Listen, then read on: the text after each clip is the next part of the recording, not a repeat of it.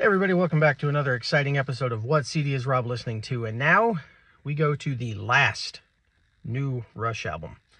Anything released after that, after this, or at any other point coming up is just archival. This was the last new release from Rush from the uh, Toronto stop of their uh, R40 tour, their farewell tour.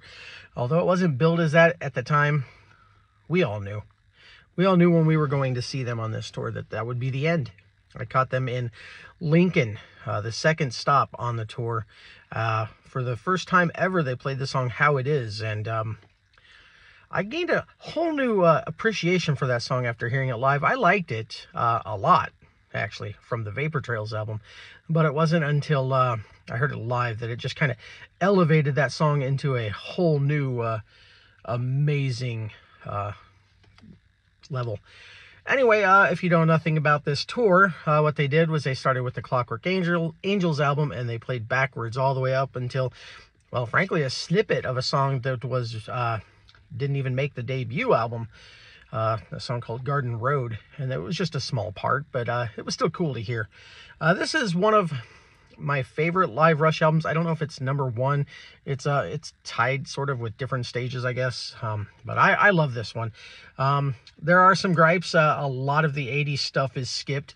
But I mean, since the Clockwork Angels tour had so much 80s stuff, I guess it makes sense. Uh, so really, all you get from uh, the keyboard years is uh, subdivisions losing it in between the wheels. You don't get anything from um, Power Windows or Hold Your Fire.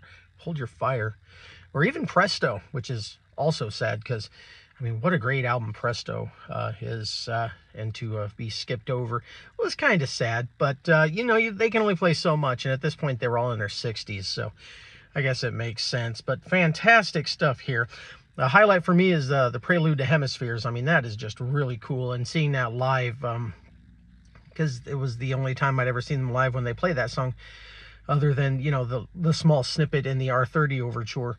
So it was cool to hear that entire uh, prelude. In fact, it's one of my concert highlights of my life. Uh, other cool stuff was, of course, they went back to uh, Caress Still and Fly By Night for uh, Lakeside Park and Anthem, which was awesome. And uh, What You're Doing, uh, a, a song that I hadn't played since mid to late 70s from the first album was really cool. So, I mean, fantastic stuff. Here you also get the first performance of Losing It with Ben Mink on uh, electric violin. In fact, it was the very first live performance of Losing It. Uh, the only uh, song from Signals that until then had never been played live. So, I mean, that is really cool. And to have Ben Mink on that is just uh, outstanding. Uh, there's also some bonus stuff on here that wasn't played or put in the uh, sequencing, I guess. first of all, Losing It, again, performed with Jonathan Dinklage, who you may know his brother um, Peter Dinklage from the uh, Game of Thrones series. So, I mean, that's kind of cool. Little little name drop there. Uh, you also, uh, bonus tracks, you get One Little Victory, Distant Early Warning, Red Barchetta, an amazing version of Clockwork Angels, and The Wreckers. Clockwork Angels was a fantastic album, and I'm so sad that I missed that tour. It was the only tour between Vapor Trails and R40 that I missed. Still kicking myself in the ass for that. Uh, you also get the camera eye as a bonus. I mean, that's cool. And I don't know, I just like the way they played sort of backwards, going from Clockwork Angels all the way to the beginning. And, you know, with each uh, change of album, uh, the stage setup was arranged until at the very end, all you're left with was a couple amps on some stools, which I thought was really cool, kind of playing a high school dance, as you can tell by the basketball hoop here.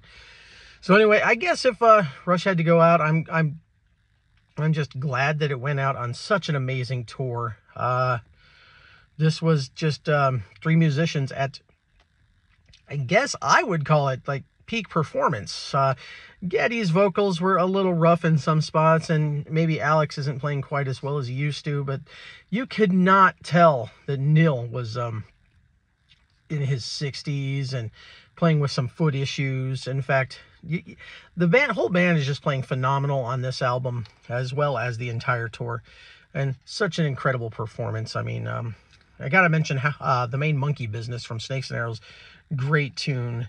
Uh, some really cool animation for Roll the Bones. Um, you know, of course, Tom Sawyer is on every live album. So, I mean, since 81. anyways, this was just fantastic. And, and I got to point out one last thing. Uh, presentation being played in 2112 was just such an awesome surprise. Uh, very cool stuff. So anyway, this would be the very last Rush, new Rush album. Anything they release from now on is archival.